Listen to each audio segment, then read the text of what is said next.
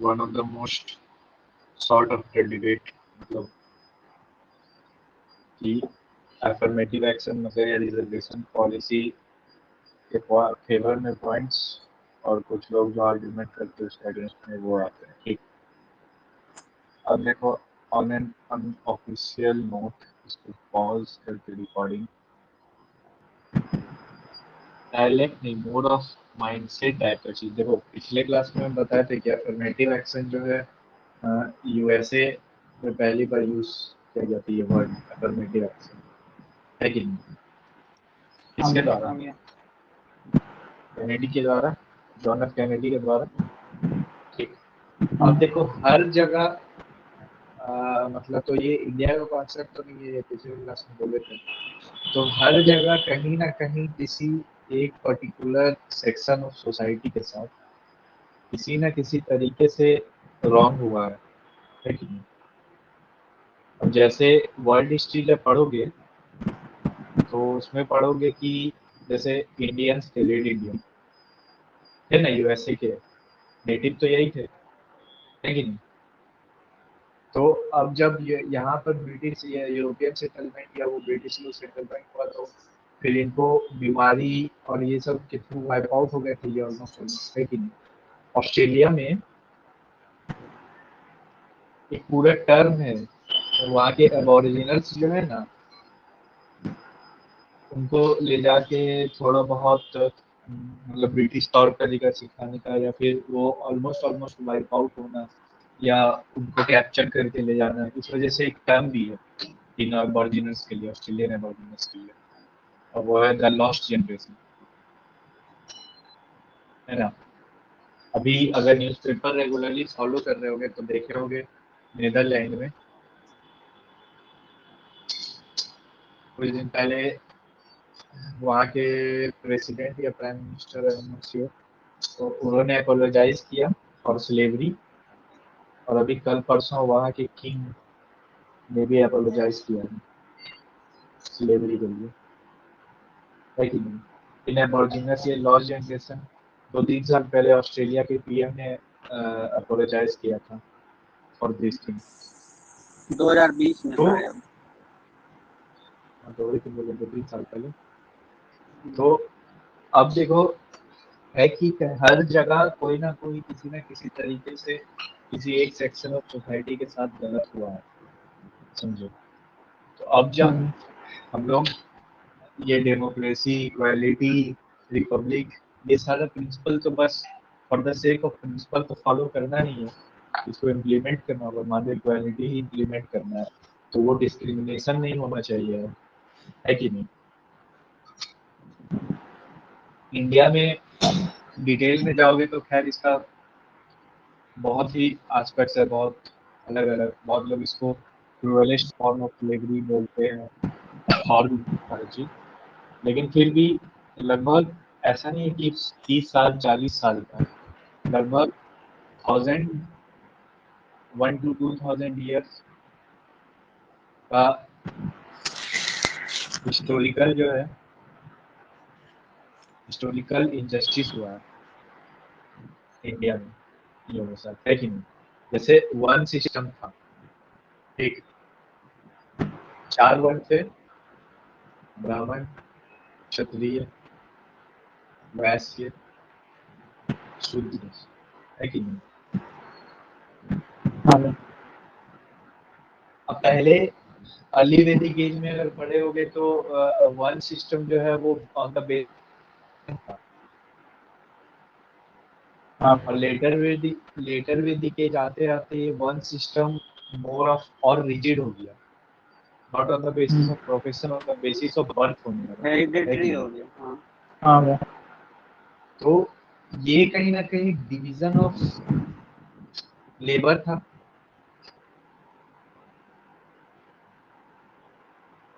बोल सकते हो ना कि जो प्रोफेशन तुम फॉलो कर रहे हो वो प्रोफेशन जो है अ, अ, मतलब वो प्रोफेशन डिटरमाइन करेगा कि तुम किस वर्ण के हो। है कि नहीं? इसलिए ऋग्वेद में वो श्लोक भी था। एक ही फैमिली के लोग जो है डिफरेंट डिफरेंट प्रोफेशन फॉलो कर रहे हैं, है ना? और जैसे जैसे ये रिजिड होते गए, ये more of division of labour से डिवीज़न ऑफ़ लेबरर्स हो गया ना? कि नहीं? आज भी देख लो, और जो भी कहते हैं कि चलो इतना साल हो गया, और मतलब ये हिस्टोरिकल ये था, उसके बाद हमारे जो फ्रेमर्स थे कॉन्स्टिट्यूशन उन्होंने इस चीज़ को रियलाइज़ किया है ना? वैसे जब तुम एक मूवी सजेस्ट करते ठीक ना साउथ की मूवी है I am forgetting name of actor बहुत फ़ेमस एक्टर है वो साउथ के। तो uh, ये दुलकीर सलमान के फादर है शायद वो। मेरे को नाम याद नहीं आ रहा but doctor B R Ambedkar करके देखोगे तो बहुत बार जैसे आज के टाइम में होता है ना you will say anything against the government या अपना व्यू पॉइंट रखोगे जिससे मेजोरिटी ऑफ़ द पॉपुलेशन नहीं अग्री कर रहे हैं। तो आज के डेट में क्या है? उसको अपोज करने का? You are anti Indian anti national go to Pakistan ऐसी चीज़ें है ना? हाँ। आज तो सोशल सोशल मीडिया के टाइम में बहुत आसान है ये चीज़ कहना बट जब डॉक्टर अंबेडकर भी फाइट कर रहे थे दलित राइट के लिए दलित राइट के लिए तो अक्सर कई बार ऐसा हुआ कि उन्होंने ऐसा स्टैंड लिया जो उस समय के कांग्रेस या उस समय के जो फ्रीडम फाइटर थे या गांधी जी के स्टैंड के थोड़ा विपरीत जाके था।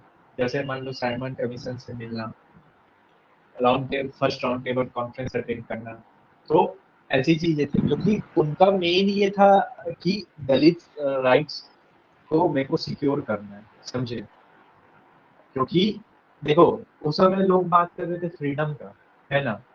फ्रीडम का बात कर रहे थे और, कि ब्रिटिशर्स लोग से फ्रीडम चाहिए। बट दलित लोग तो ये चीज़ हमेशा से झेल रहे थे। जब ब्रिटिशर्स नहीं थे, उनके पहले से। हमेशा उनका फ्रीडम या उनका राइट्स जो है, वो अपर क्लास या अपर कास्ट लोगों के हाथों तो हमेशा से वो लोग ये जो है डिस्क्रिमिनेशन से ही रहते ना उनको हाँ। इतना क्या फ़र्क पड़ता कि उनको ब्रिटिशर्स रूल कर रहे हैं या फिर उनको या फिर ब्रिटिशर्स लोग चले जाएँगे तो फिर से वही चीज़ें होती। फिर से वही होता कि भाई उनको फिर से डिस्क्रिमिनेशन सहना पड़ता अपर क्लास लोगों के। कहीं ना कहीं ब्रिटिशर्स लोग तो तुम्हारा ये कुछ ना कुछ ऐसा पॉलिसीज़ लाए थे जिनसे कहीं ना कहीं उनको थोड़ा बहुत बेनिफिट भी हुआ। है ना? तो ऐसे में तुम किसी इंसान को कहाँ से बोल सकते हो कि आ, भाई लड़ो फ्रीडम के लिए? उसको तो पहले भी फ्रीडम नहीं था उसको पता है आज के डेट में ब्रिटिशर्स चले भी जाए तो भी फ्रीडम उनका कटे ही होगा। तो इसके लिए ज़रूरत था। फ्रेमर्स ने इन इस चीज़ को रियलाइज़ किया कि अगर उनको पूरा सोसाइटी को एज ए होल बाँध के रखना है उनको पूरा का पूरा इंडिया को एज ए नेशन कंसोलिडेट करना है तो उनको ये चीज़ ध्यान रखना होगा कि जिनके साथ ये हिस्टोरिकल इंजस्टिस हुआ है समझे? वो आ, आ, वो चीज़ आगे चल के ना हो उनके साथ। तो इसलिए ऐसे लॉज या कॉन्स्टिट्यूशन में ऐसे प्रोविज़न हो जिस वजह से ये चीज़ मतलब उनको कहीं ना कहीं वो पॉजिटिव मतलब डिस्क्रिमिनेशन बहुत लोग इसको बोलते हैं बट ये एक तरह से पॉजिटिव डिस्क्रिमिनेशन है। मोर ऑफ़ कह सकते हो कि कंपनसेटरी जस्टिस है। For all the this years of injustice that they have suffered है इसको कंपनसेटरी जस्टिस तो बोल सकते हैं ना। ये हम एक बैकग्राउंड बता रहे बस ऐसे मतलब इस सोच में, क्योंकि देखो कहीं ना कहीं हर कोई किसी से पूछोगे ना तो इन वन वे और द अदर एक तरह से बायस्ड ओपिनियन होगा ही जो लोग बेनिफिशियरी हैं, इस अफर्मेटिव एक्शन का मैक्सिमम वो लोग ही इसके पॉजिटिव पे बोल रहे हैं। जो लोग नॉन बेनिफिशियरी है या जिनको लगता है सो कॉल्ड कि वो विक्टिम है इस चीज़ का वो लोग उसके अगेंस्ट में होते हैं। बहुत सारे अपर कास्ट लोगों को लगता है ना कि they are victim of this reservation और अफर्मेटिव एक्शन है ना? हाँ लेकिन जो जो पूरा एनालाइज करेगा पूरा का पूरा जिसको हिस्ट्री का समझ होगा जो हिस्ट्री में ये चीज़ पढ़ते रहेगा क्योंकि देखो ये वन सिस्टम था चार। ब्राह्मण क्षत्रिय वैश्य शूद्र लेकिन दलित तो इसमें भी नहीं आते हैं। वो तो शूद्र में भी नहीं आते मोर ऑफ़ ये चार वन में तो है ही चलो हायरकी और वो डिस्क्रिमिनेशन वाला सीन बट यहाँ पर भी हो गया मतलब ये वन ये एक तरह से अवन वन वर्सेस वर्सेस अवन का वो वाला कॉन्सेप्ट आ गया। कि नहीं मतलब इनको तो वन सिस्टम में भी जगह नहीं दिया गया। तो एक मूवी देखे होगे ना आर्टिकल 15 तो आर्टिकल 15 में वो वाला डिस्कशन अगर देखे होगे तो वो जो आयुष्मान खुराना का वो डिस्कशन होता है, अपने सबऑर्डिनेट पुलिस ऑफिसर्स के साथ। तो वो नहीं बोलता है कि, सर, हम तो ये हैं। मतलब so called he is also the victim of untouchability वाला ये जो है इवल है। लेकिन वो भी वो चीज़ फॉलो कर रहा है उस इंसान के लिए जो हायर सो कॉल्ड हायरकी में उससे नीचे आता है। देखिए हो ना? तो ऐसा वाला ही है मतलब होता है ना कि यूजुअली जो चीज़ जो इस इवल का अगर कोई भी इंसान है जो इस इवल से नेगेटिवली अफेक्ट हुआ है जो इस इवल से डिस्क्रिमिनेट हुआ है उसको तो इम्पैथी होना चाहिए इस चीज़ के प्रति है कि नहीं? लेकिन जब हाँ। उसको मौका मिला कि चलो ठीक है वो अब देखो होने क्या चाहिए कि वही उसको एम्पैथी होना चाहिए, क्योंकि वो इस चीज़ से सफ़र किया। लेकिन जब उसको मौका मिला, ये सेम लेवल को फॉलो करने का मतलब सो कॉल्ड उस हायरकी में अगर उससे कोई लोअर आकार से बिलोंग कर रहा है तो वो भी उस चीज़ को फॉलो कर रहा है इस इंसान के प्रति। तो सोच लो, इतना ज़्यादा मतलब ये है मतलब रूटेड है सोसाइटी में। और सोशियोलॉजी पढ़ोगे ना तो एक चीज़ एक स्टेटमेंट है मतलब या फिर नॉर्मली वैसे पढ़ोगे कोई चीज़ अगर बहुत टाइम से फॉलो होते जा रहा है ना तो वो एक तरह से ट्रेंड हो जाता है, चाहे पॉजिटिव हो नेगेटिव हो, वो साइड में रखो। बट अगर कोई चीज़ है जो जनरेशन आफ्टर जनरेशन या ओवर टाइम लॉन्ग टाइम से फॉलो होते जा रहा है तो वो मोर ऑफ़ ट्रेंड हो जाता है। समझे? ये चीज़ ऑब्ज़र्व किए होगे ना, कोई भी इवल उठा के देख लो। और इनफैक्ट उसको जस्टिफाई करने का ये वन ऑफ़ द रीजंस भी दिया जाता है। ये तो हम लोग के बहुत टाइम से फॉलो होते जा रहा है है कि नहीं? हाँ। तो वो जो फोर्स एक्वायर कर लेता है और कहीं ना कहीं फिर वो उस फोर्स एक्वायर करने का मतलब वो कहीं ना कहीं लेजिटिमेसी वाला सीन आ जाता है उसके साथ। भले वो बहुत बड़ा इवल लिखो समझे। और भले उसके बाद फिर रेडिकल चेंजेस लाना पड़ता है उस चीज़ को खत्म करने के लिए बट यही चीज़ें ये चीज़ें जनरेशन आफ्टर जनरेशन होती जा रही है। और आज 70 आफ्टर 75 इयर्स ऑफ़ इंडिपेंडेंस भी हम लोग ये चीज़ 100 परसेंट गारंटी के साथ तो कोई नहीं बोल सकता। गारंटी के तो नोन फैक्ट है कि अभी भी ये चीज़ें सोसाइटी से पूरी की पूरी एलिमिनेट हुई नहीं है। आज भी ऑनर किलिंग का कहीं ना कहीं केसेस आ जाता है। लेकिन हाँ। अभी तो चलो फ़िलहाल अभी तो फ़िलहाल ट्रेंड में है लव जिहाद। तो वो तो इंटर रिलीजन वाला सीन हो गया। लेकिन पहले जब हिस्ट्री पढ़ोगे तो उसमें है ना अनुलोम विवाह प्रतिलोम विवाह। तो जो प्रतिलोम विवाह उसमें क्या होता है? Girl from higher caste guy from lower caste कितना ही। ऐसे केसेस हुए ऑनर की लिए। जहाँ बंदी हायर कास्ट की है और लड़का जो है वो लोअर कास्ट का है तो वो ऑनर किलिंग का शिकार हो गया वो कपल है कि नहीं? हम्म। तो यहाँ दो कॉन्सेप्ट है, समझा? एक तो ये कि चलो लॉ तो हम लोग ला दिए, ठीक और या फिर लॉ ला दिए कॉन्स्टिट्यूशन में प्रोविजंस लाए अफर्मेटिव एक्शन का सीन किए अफर्मेटिव एक्शन को इंक्लूड किए। तो अब क्या है कि एफर्मेटिव एक्शन से अब क्या क्या चेंजेस आया अगर देखोगे तो। तीन चीज़ों में मिलने लगा, पहले चलो ये था कि लोकसभा मतलब जो की जो सीट है वो रिज़र्व रहेगी एस टी कैंडिडेट्स के लिए। और उसके बाद पहले दस साल के लिए था, फिर धीरे धीरे बढ़ाते बढ़ाते बढ़ाते बढ़ाते अभी फ़िलहाल शायद एक ईयर्स के लिए हो गया। तो एक तो प्रमोशन में जॉब के बाद प्रमोशन में, और ये चीज़ बस एस टी एस सी को ही मिलता है ओबीसी को नहीं जॉब में प्रमोशन और फ़िज़िकल हैंडीकैप तो उसके बाद प्रमोशन के बाद क्या हो गया? रिक्रूटमेंट में कुछ सीट्स रिज़र्व रहती है उनके लिए और एडुकेशन है ना? ये तीन चीज़ों में एफर्मेटिव एक्शन के थ्रू इनका कहीं ना कहीं वो वो लेवल प्लेइंग फ़ील्ड पे लाने की कोशिश की जाती है। तो लेकिन एक जो बहुत इंपॉर्टेंट एस्पेक्ट है, जिसके जब तक नहीं होगा तब तक मतलब ये चीज़ें शायद ये जो ईवल है ये रूटेड ईवल जो है वो शायद एफर्मेटिव एक्शन को कभी खत्म नहीं होने देगा और वो है सोसाइटी का माइंडसेट चेंज या फिर सोशल चेंज है कि नहीं? आज भी देखते होंगे शायद बहुत जगह ऐसा होगा कि अगर कोई ऑफिसर ही आया समझे? और शायद कुछ दिन पहले हम सुने थे कि इंडिया के स्टेट में आ, मतलब वहाँ पर ऑफ़िस मेस में आ, मतलब ऑफिसर्स हैं but they belong to Dalit caste और ये तो वो अलग खाते हैं। उनसे सबऑर्डिनेट जो पुलिस ऑफिसर्स हैं वो लोग वहाँ खाते हैं मतलब बहुत सबऑर्डिनेट है। तो मतलब इतना सोचो इतना ज़्यादा रूटेड है ये। हाँ भैया ये ये वहाँ पे भी होता है। ये बिहार पुलिस है ना?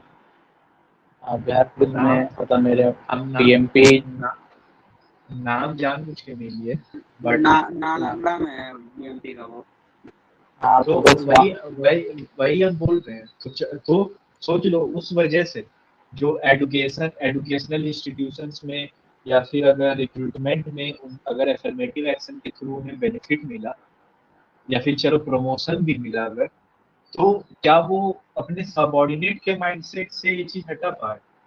उस समय डॉक्टर अंबेडकर के सबॉर्डिनेट ने उनको पानी देने से मना कर दिया। आज भी तो कहीं ना कहीं वो चीज़ें हो रही है। कहीं ना कहीं वो चीज़ें हंड्रेड परसेंट नहीं हटी है। क्यों? क्योंकि वो सोशल चेंज जो है, लाना चाहिए इस इन प्रोविजंस को। वो नहीं हो पाया। और जब तक ये नहीं हो पाया, तब तक हमारे फ्रेमर्स का जो एस्पिरेशन था इक्वालिटी का, वो अचीव नहीं हो पाएगा समझे? अब तुम लोग ये सोचो कि सोशल चेंज कैसे आएगा? कैसे सोशल चेंज लाया जा सकता है? ऊपर से नीचे आएगा या नीचे से ऊपर आएगा? क्या क्या ये एस्पेक्ट्स है? इस पर पॉन्डर करो। लेकिन अभी हम लोग आते हैं, आगे बढ़ते मतलब ये हम एक बैकग्राउंड दे रहे और अभी भी क्या स्थिति है, समझो। अक्सर ऐसा होता है कि अरे कोई अगर कोई एग्ज़ाम भी निकाल लेता है और वो रिजर्वेशन के थ्रू वो एग्ज़ाम अगर वो होता है मतलब लाइवली एग्ज़ाम्पल है तीन चार साल पहले जो आई एस टॉपर्स थी तो उनका प्रीलिम्स का मार्क्स को लेके कंट्रोवर्सीज क्रिएट हुए थे है कि नहीं? हाँ भैया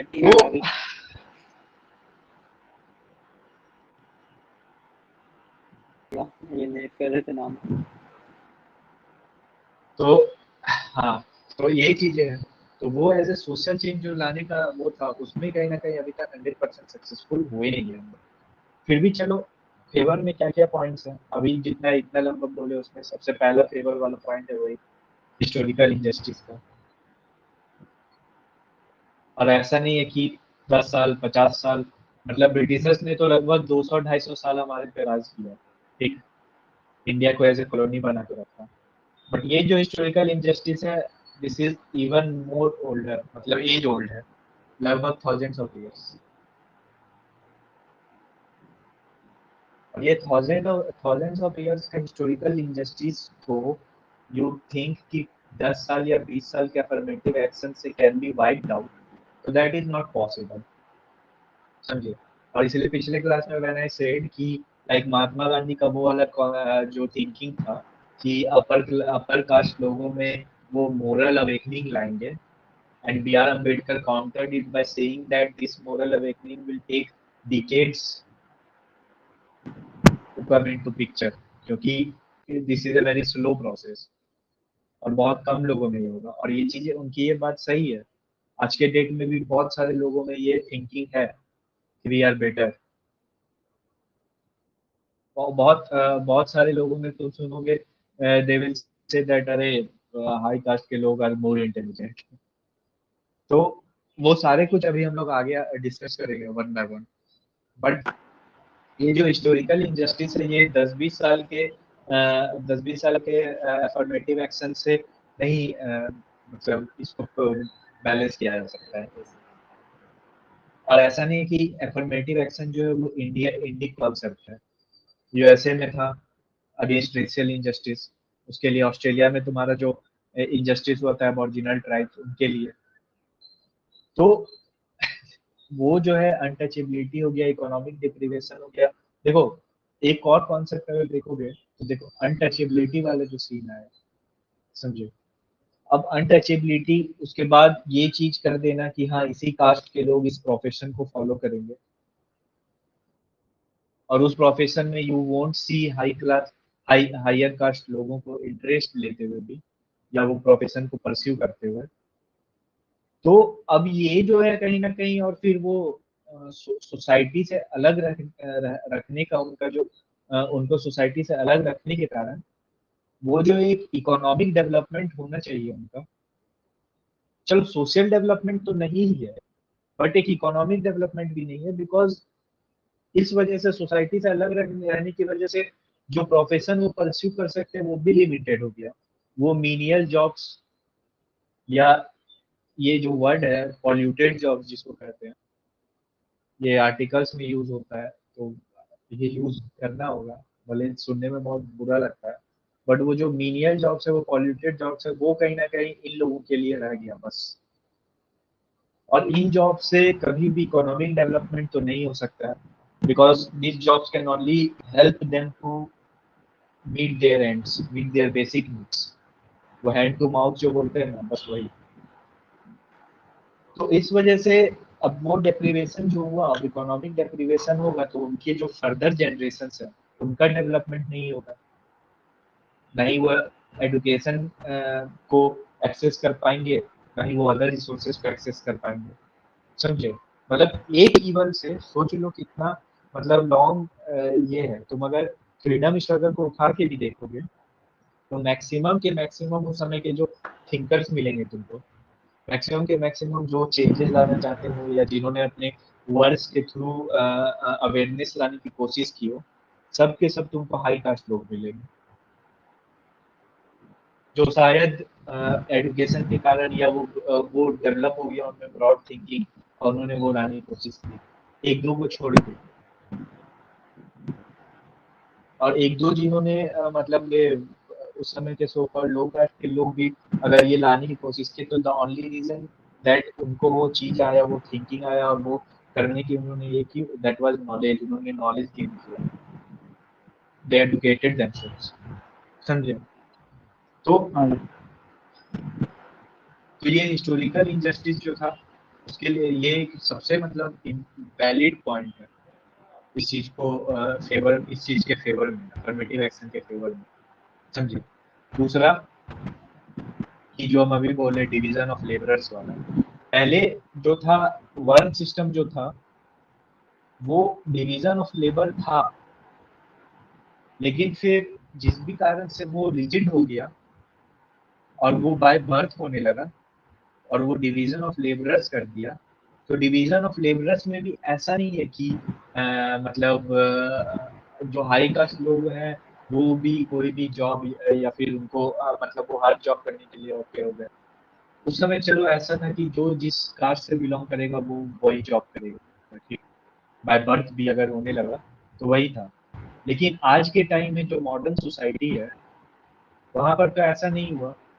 You will find a person from Brahman household in army, है कि नहीं? जो कि अकॉर्डिंग टू वन सिस्टम एक क्षत्रिय का काम है है कि नहीं? हाँ, या फिर एक Kshatriya you will see doing business which is the work of Vaishya का काम लेकिन आज भी इन तीनों कास्ट कास्ट सिस्टम से बिलोंग करने वाले लोग आज भी वो सो कॉल्ड जो हम बोले menial jobs they won't do जो भी तुम्हारा जो भी कंट्रोवर्सीज होता है जो भी सो कॉल्ड हीटेड डिबेट्स होता है regarding reservation system that is for a grade A jobs and grade B jobs you won't see anyone saying कि grade C and grade D job grade D jobs के लिए लड़ते हुए. You won't find these people. तो ये क्या हुआ? Division of labour नहीं हुआ क्या? हा?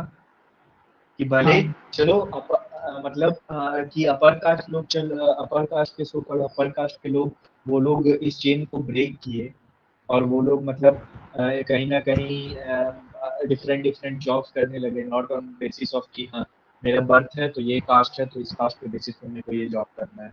वो नहीं करके दूसरा को लेकिन फिर भी वो जो है तुम्हारा लिंकेज जो है historical linkage of occupation on the basis of caste, ये दलित के साथ नहीं हो पाया।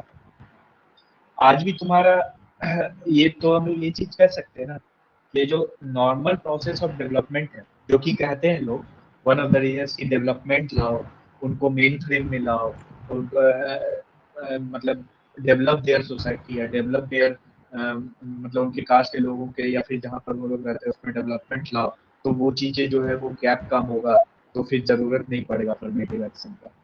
लेकिन नॉर्मल प्रोसेस ऑफ़ डेवलपमेंट भी इस गैप को ऑटोमेटिकली मतलब इस गैप को जो है वो कम नहीं कर पाती है। बिटवीन डोमिनेंट कास्ट और दलित्स को। और उसका one of the major reason यही है। ये जो लिंकेज है ना ऑक्यूपेशन का, अभी भी हम बोल रहे हैं you go to group C group C group C and group B jobs out of 10 i think 8 or 9 people will be from dalits or other castes who have this affirmative action, जो affirmative action के अंदर आते हैं। उठा लो कोई भी अभी job sweeper का। या गार्बेज कलेक्टर्स वैसे कोई। वो आज के डेट में भी वो दलित कास्ट से बिलोंग करने वाले हैं। तो कहाँ हुआ? मतलब अपर कास्ट के लोगों ने तो ये चेन को तोड़ दिया मान लो ठीक ना? काफ़ी हद तक। बट लोअर कास्ट के लोग आज भी वो हिस्टोरिकल लिंकेज ऑफ़ ऑक्यूपेशन है। क्यों? क्योंकि इतना जो इतना सालों से जो होते आ रहा था उनके साथ जिसके कारण वो इकोनॉमिकली डेवलप नहीं कर पाए तो आ, वो लोग जो है वो रिसोर्स जो मिलना चाहिए जो एजुकेशन मिलना चाहिए जो उनका फर्दर डेवलपमेंट कॉज करता वो कहीं ना कहीं एक्सेस नहीं कर पाए समझे? आज भी तुम देखोगे अगर दलित कास्ट से बिलोंग करने वाला कोई इंसान अगर राइज किया है सोशल स्टेटस में तुम सबसे बड़ा एग्जांपल ले लो डॉक्टर अंबेडकर का। ठीक doctor Bhimrao Ambedkar one of the major reason क्या था? एजुकेशन था। है कि नहीं? हाँ। हम पिछले क्लास में बोले थे कि इंडिया में पहला एफर्मेटिव एक्शन जो उन्होंने किया था वो किंग साहू थे। थे ना? And the movie that I have suggested उस मूवी में यू विल से तो उनका भी ज़िक्र है। उन्होंने फंड भी दिया था डॉक्टर अंबेडकर को। For his magazine and all समझे? तो ये एडुकेशन को एक्सेस कर पाए तो उनको वो नॉलेज हुआ और वो राइज किए सोशल स्टेटस में। His second wife was a Brahmin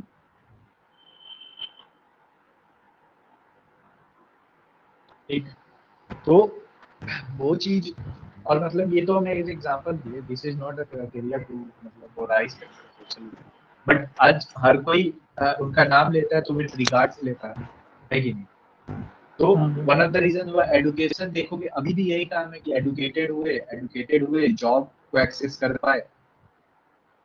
इस रिक्रूटमेंट के कारण एक अच्छा जॉब मिला तो वो लोग इकोनॉमिकली सेल्फ सफिशिएंट हुए और एक अच्छा स्टैंडर्ड ऑफ़ लिविंग मेंटेन कर पाए है कि नहीं? दूसरा रीजन कि एडुके चलो तो एजुकेशन सेक्टर का। दूसरा था कि जो सीट रिज़र्व होते हैं एस के लिए फॉर इन मतलब लेजिस्लेटिव असेंबली और इन पार्लियामेंट उस वजह से भी वो लोग कहीं ना कहीं वो पावर गेन किए। वो लोग कहीं ना कहीं वो सोशल ये में वो राइज किए। है कि नहीं? सोशली वो लोग डेवलप हुए। है ना? इकोनॉमिकली एंड सोशली तो ये जो हाँ हाँ तो फिर इस कारण से वो वो जो लिंकेज है वो तोड़ पाए कि हाँ कि दलित का दे विल डू जो जॉब उनके लिए निर्धारित किया जाता पहले दिस दिस दिस वो लिंकेज जो है जो हिस्टोरिकल लिंकेज है ड्यू टू बर्थ उसको उन्होंने तोड़ा। तो इसका one of the main reason क्या था? अफर्मेटिव एक्सेस था ना। हाँ। अभी हम लोग अभी तो हम लोग क्लोज कर रहे हैं। जब कॉन्स करेंगे तो उसमें वन ऑफ़ द डिबेट हम लोग देखेंगे कि मान लो कि फादर है फादर या मदर है दैट पर्सन मतलब takes the benefit of affirmative action और सोशली इकोनॉमिकली और जॉब वाइज वो एक अच्छा ये अचीव कर लिए। फिर भी उनके जो वार्ड है मतलब जो चिल्ड्रेन है, उसके बावजूद वो इस चीज़ को एंजॉय करते हैं। तो वो कॉन्स में जब जाएँगे तो हम लोग इस चीज़ पे बात करेंगे बट अभी फ़िलहाल यही है कि इस अफर्मेटिव एक्शन के कारण कहीं ना कहीं वो जो है लिंकेज है, उसको वो तोड़ पाए, है ना? तो ये affirmative action is a positive thing ना फॉर दिस पीपल अब देखो दूसरा चीज़ है। अब इसी चीज़ को आगे जो बढ़ाते हैं कि वो जॉब बेस्ड जो था तो क्या होता है? एक होता है class class mode of economic status के बेसिस पे होता है है ना? हम्म, और दूसरा कास्ट तो कास्ट तो चलो कास्ट वाला पता ही है। क्लास जो है इकोनॉमिक स्टेटस के बेसिस पे है। तो अब देखोगे, जिन्होंने मतलब एफर्मेटिव एक्शन या फिर एजुकेशन और वो सब के थ्रू वो अचीव नहीं किया है तो maximum you will see Dalit will be poverty stricken. है ना तो और ऐसा नहीं है कि पुअर जनरल में नहीं है। ये ब्राह्मण इज़ नॉट पुअर ऐसा नहीं है। You will find a poverty not a poor person in all castes in all strata of society समझिए all strata of caste but एक जनरल इंसान को जिस जो कभी, जिस पे कभी अनटचेबिलिटी प्रैक्टिस नहीं हो सकता that person is only economically weak है कि नहीं? But a Dalit person who is poverty stricken who is economically not sound और तो ये इकोनॉमिक इसके अलावा that person also suffers from social isolation है कि नहीं? क्योंकि इस जनरल कास्ट से बिलोंग करने वाले पुअर पर्सन जो इस चीज़ से नहीं सफ़र करता है या इस चीज़ का एक्सपीरियंस नहीं होता है उसे। एग्री करते भी नहीं इस चीज़ से? हाँ, तो मतलब कि अगर if a Dalit is poor तो that person is poor poverty stricken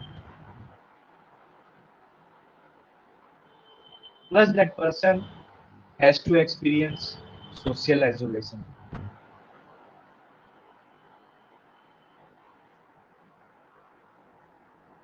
So this makes them more weak.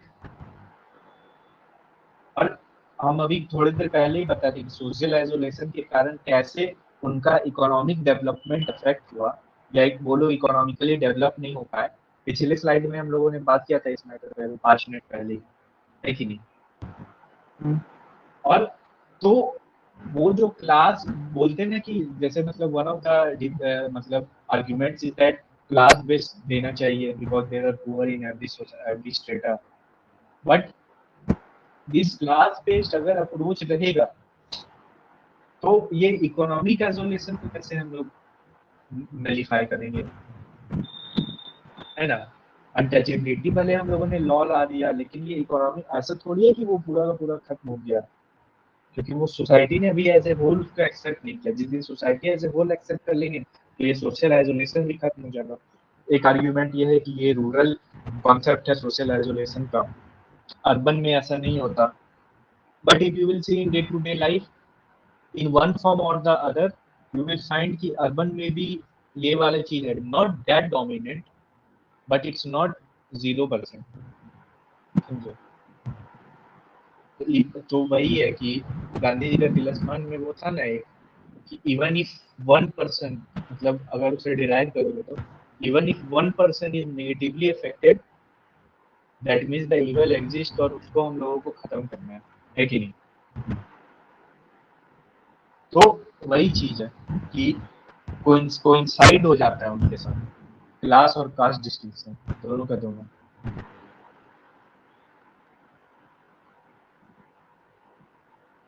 If you will go to rural मतलब विलेजेस जाओगे, वहाँ जो लैंड है, उन पे काम करने वाले जो वर्कर्स हैं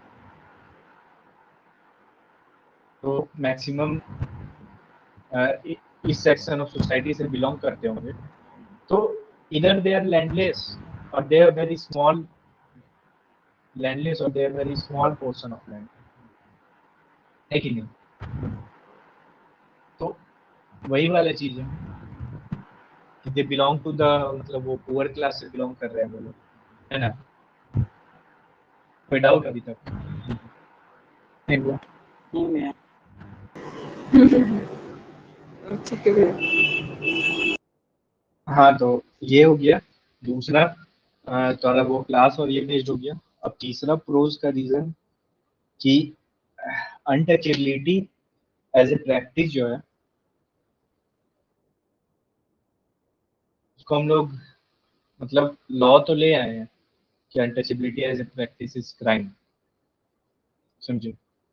लेकिन जो, और ये कहता है कि मतलब ये भी एक, जो लोग मतलब एफर्मेटिव एक्शन के अगेंस्ट में बोलते हैं, उनका कहना है कि जो फॉर्म पहले था मतलब प्रीमेटिव टाइम्स में जो अनटचेबिलिटी का फॉर्म था, या कॉलोनियल टाइम में जो अनटचेबिलिटी का फॉर्म था, वो फॉर्म अब एग्जिस्ट नहीं करता है।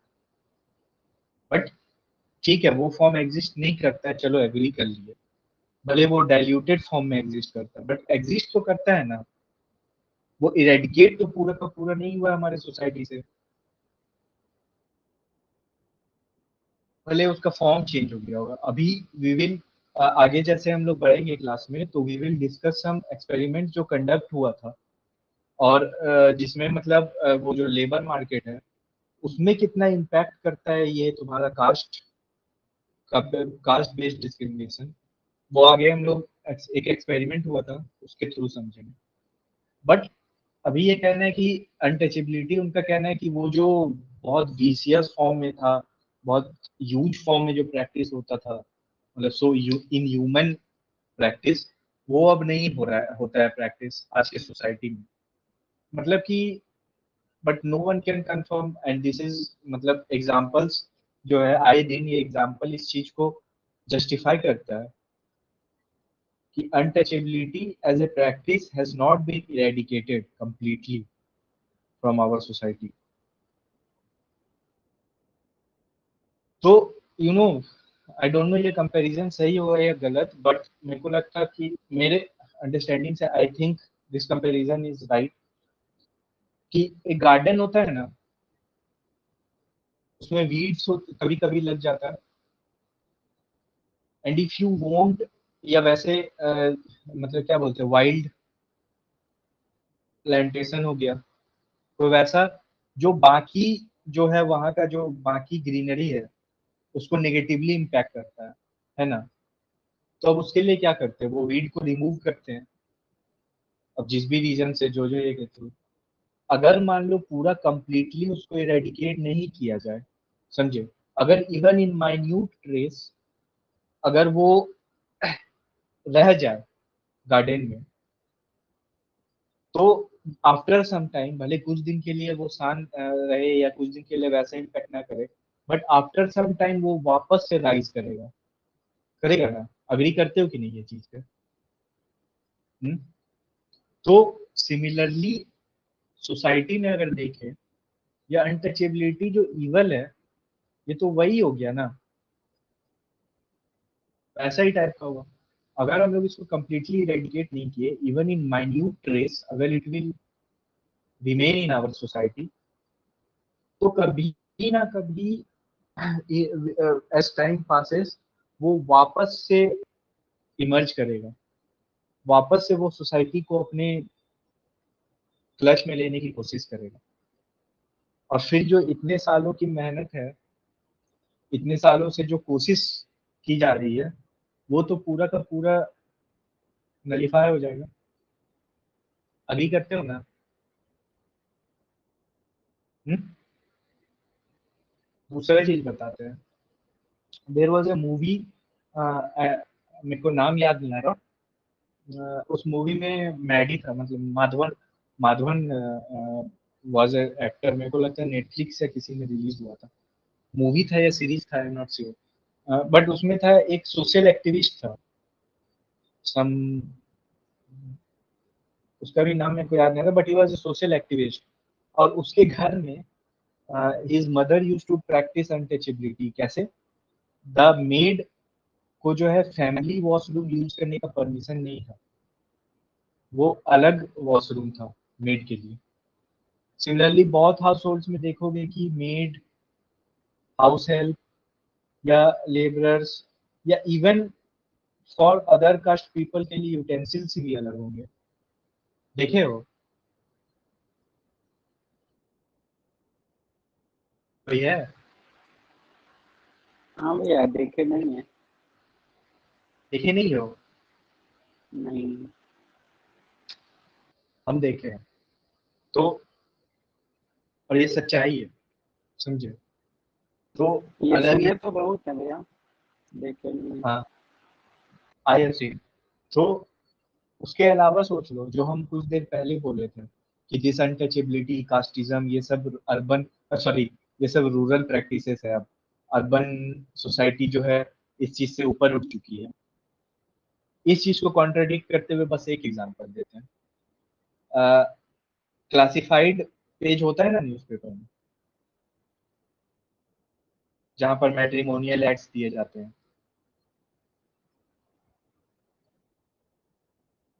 उसको पलट के देखना, ठीक ना? The people giving the ads there out of ten I think nine और nine point five people will be from urban background and उनमें से six to seven people mention करेंगे कि this caste so and so caste groom और bride required ये चीज़ तो देखे होगे। नहीं देखे हो तो कल न्यूज़पेपर में देखना। समझे? हाँ भैया देखे। Hindi news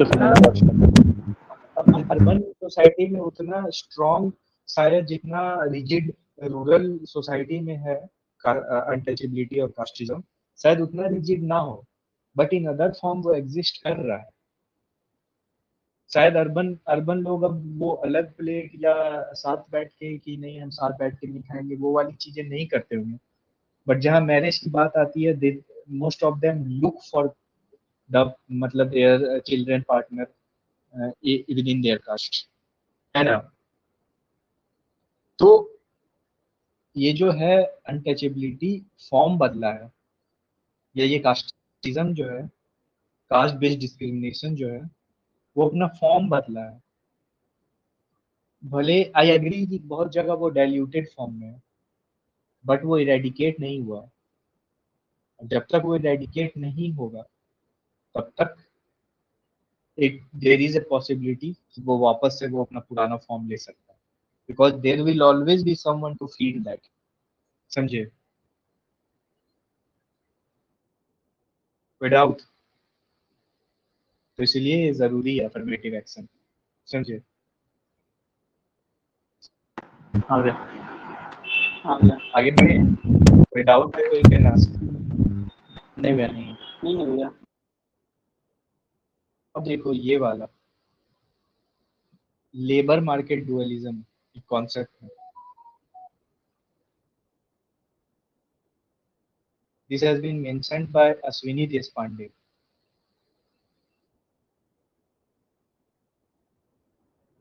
In her book, Affirmative Action in India. His book, sir. Affirmative Action in India. एक this you can write down ऐसे नोट्स में मिल जाएगा. But this you remember you can use it in your answer तो in this book ना he talks about labour market dualism अब ये क्या है? मान लो कि दो लोग हैं ठीक? A and B A belongs to general category B belongs to Dalit category ठीक?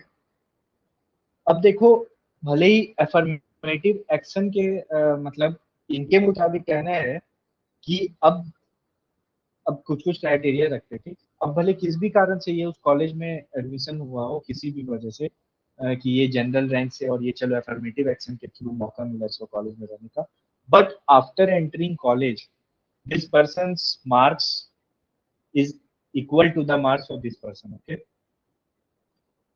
मतलब इसका overall CGPA is also equal सब कुछ सेम है, समझे? उसके बावजूद देखा जाता है कि जो लेबर मार्केट आउटकम है ना, वो इक्वल नहीं रहता, जबकि होना चाहिए, सब कुछ तो सेम है। If you will ask the resume of these two तो everything will mention same, है कि नहीं? बट ऐसा होता नहीं है। लेबर मार्केट आउटकम जो कि इक्वल होना चाहिए is not equal and this what he calls labour market dualism okay तो अब इस रिगार्ड में ना, थोराट एंड एटवेल है, वो 2007 में जो इन दो, इन दोनों ने मिलकर एक स्टडी किया था, ठीक ना? जहाँ पर उन्होंने सोशल एक्सपेरिमेंट कंडक्ट किया व्हाट दिस पर्सन डिड तीन रिज्यूमे था ए बी और सी ये C was Muslim this A belong to uh, general category and B belong to reserved जिनसे affirmative action होता है ठीक? कैटेगरी अभी तक क्लियर है? तो एक हाँ ये दोनों हिंदू थे ये नन दलित था और ये दलित था and this C was a Muslim okay शायद और थोड़ा उसको स्पाइसी बनाने के लिए इस एक्सपेरिमेंट को। तो तीनों का जो मार्कर्स है ना मार्कर्स मतलब राइट ए रिज्यूमे तो इन तीनों का मार्क्स सेम था ओवरऑल इन तीनों का हॉबीज ऑलमोस्ट आइडेंटिकल थी। इन तीनों का academic background almost almost same रखा गया मतलब सेम स्टैंडर्ड और वैसा का समझे? तो अब इन सारे चीज़ों व्हाट यू विल सी अगर रिज्यूमे में हम सब कुछ हटा दें, समझे? कि आ, मतलब ये पर्सन ये इसका डिटेल्स हम हटा दे बस इसके क्रीडेंशियल्स रख दें इन तीनों का। तो you will feel as if you are seeing almost मतलब an identical resume identical CV okay तो अब क्या होना चाहिए कि अब सारे के सारे मार्कर्स इक्वल हैं तो जो मार्केट आउटकम है वो भी सेम होना चाहिए। जो तुम्हारा लेबर मार्केट आउटकम है जिसके बारे में अश्विनी देशपांडे ने बात की वो सेम होना चाहिए। होना चाहिए या नहीं? बट दे ऑब्ज़र्व ना कि despite all these markers being equal the market outcome was different. समझे तो ये लेबर मार्केट डुअलिज्म भी एग्जिस्ट कर रहा है। तो अगर ऐसा एग्जिस्ट कर रहा है तो वा, तो क्या ये पॉइंट फेवर में नहीं हुआ अफर्मेटिव एक्शन का? है ना? हाँ भैया। अब तीस, अब दूसरा point in support is bridging inequality.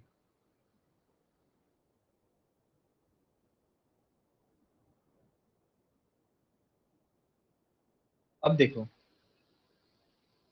In the star मतलब in the beginning of the class I had said कि जिनके साथ ये evil practice of untouchability social isolation practice किया जाता था तो वो सोसाइटी से अलग थे, अलग रखा जाता था उनको, है ना? इसका मतलब क्या हुआ? कि वो प्रोफेशन भी अपने विल पे नहीं चूज़ कर सकते थे। The profession that they could practice was they were मतलब रिड्यूस टू मीनियल जॉब्स है या नहीं? इसके वजह से वो इकोनॉमिक डेवलपमेंट नहीं हो पाया, वो रिसोर्स अवेलेबिलिटी नहीं हो पाया उनके लिए। है? तो अब अगर इन सभी वजह से अब मान लो दो लोग हैं एक्स और Y these two are students y and x are preparing for a competition y has net access access to internet y has resources to purchase test series to purchase classes to purchase books है ना? X do not have access to net and इस चीज़ का जो हम बोल रहे हैं ना नो एक्सेस टू नीट ये अगर तुम लोग कोविड के टाइम में अगर पढ़ते हो बुक्स सॉरी न्यूज़पेपर तो उस समय बहुत ऐसे न्यूज़पेपर मतलब बहुत ऐसे न्यूज़ आते होंगे। क्योंकि उस समय स्कूल्स बंद थे क्लासेस ऑनलाइन हो रही थी लीड कंपटीशन ऐसा even normal schools were conducted online है ना? उस समय बहुत ऐसे स्टूडेंट्स थे जिनके पास स्मार्टफ़ोन नहीं था जिससे वो लोग एक्सेस कर पाए।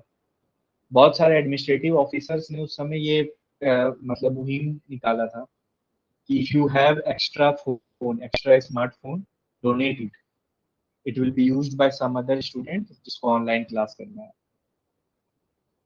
Are you aware of this तो हाँ भैया। हाँ भैया। वही बोल रहे हैं। उसके पास रिसोर्स नहीं है इंटरनेट नहीं एक्सेस कर कर सकता है। Can not that person can not access class हो सकता है ये बुक्स भी बोरो हो।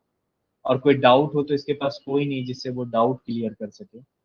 And this is a truth आज के टाइम में ये सुनने में बहुत अजीब लगेगा कि किसी इंसान के पास स्मार्टफ़ोन नहीं है या कोई इंसान के पास नेट का एक्सेस नहीं है but this is a truth भले ही majority of the people have access to smartphone have access to internet but still large section of the society cannot access net and do not have access to smartphone. Okay. तो अब बताओ preparation wise अगर ये over brilliant नहीं है, ठीक है? I do not believe that talent is something that a person is born with हो सकता है कुछ लोग होंगे but I am talking about majority in majority of the person talent is not something that they are born with okay it is more of assisted talent और assisted merit agree करते होगी नहीं मेरे इस बात से?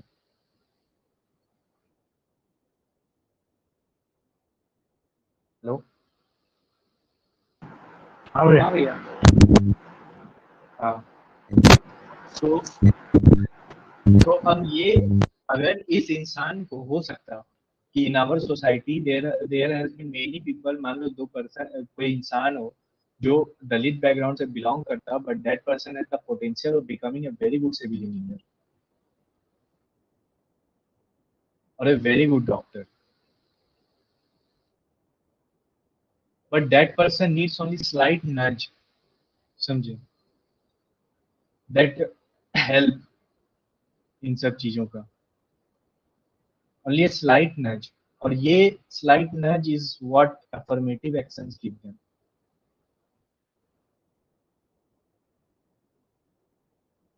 this nudge of affirmative action helps in bridging this inequality law preaches equality but there is a large gap between equality in law and equality in fact.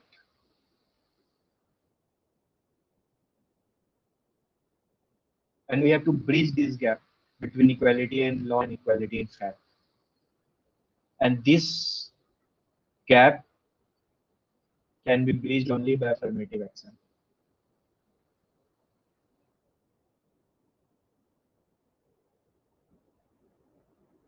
if you will read biography of Dr. B.R. Ambedkar, even if at that time there was no provision that the state will state performs affirmative action, but there were one, some, one person or the other who used to practice this, जिन्होंने उनका help किया था read his biography or watch the movie and you will come across this fact okay this nudge is necessary. That person framed our constitution. And he belonged to a Dalit family. Had he not fought, had he not realized the importance of knowledge and fought to gain knowledge, he would not have got such a, such a brilliant personality. मेरे नहीं लगता उनके ऐसा education higher cast के लोगों ने भी achieve किया होगा। जितना एडुकेशन या जितनी डिग्रीज उनके पास है। Might be wrong but I think कि शायद ही कोई होगा जिनके पास उनके इतना डिग्रीज होगा। अभी भी नहीं होगा।